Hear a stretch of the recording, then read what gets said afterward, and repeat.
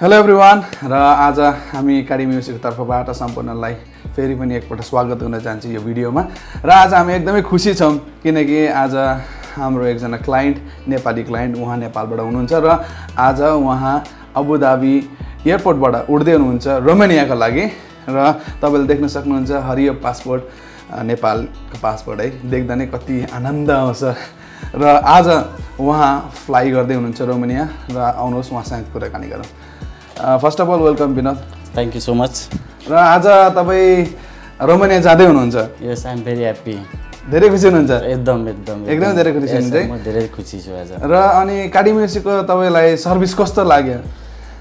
सर्भिसको बारेमा भन्नुपर्दा चाहिँ अब जब मैले कार्डीमा युसीलाई अप्रोच गरेँ।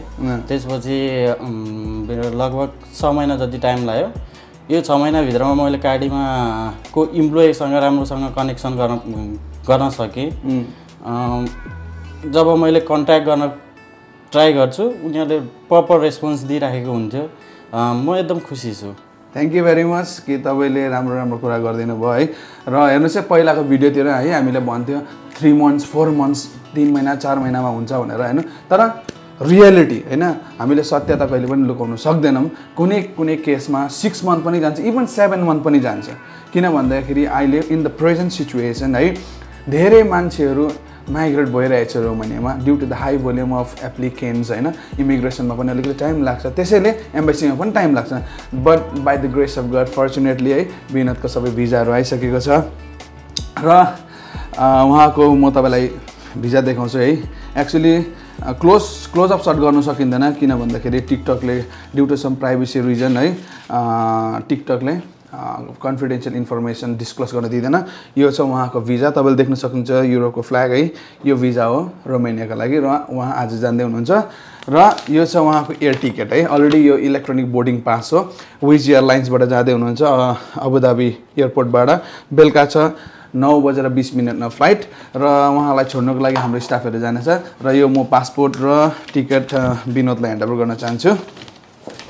Thank you so much Congratulations, thank you so much र अग्रिम तपाईँको जति पनि जर्नीहरू छ राम्रोसँगले होस् है।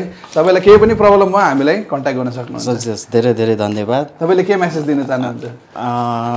About the message when I approach with the this organisations I feel very happy to get the this visa Romania so म धेरै भित्रबाट आत्मैदेखि म धेरै धेरै धन्यवाद दिन चाहन्छु।